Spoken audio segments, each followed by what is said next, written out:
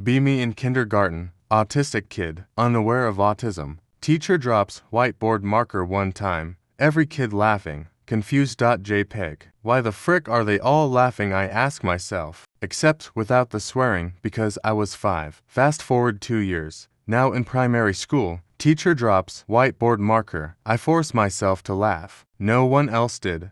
Awkward silence. Teacher is glaring at me. Oh, you think that's funny, Anon. Here, why don't you come pick it up? Forced to pick up the damn marker in front of 20 other kids. Embarrassed as heck. Still confused to this day. Why did that not work, Anons? What did I do wrong?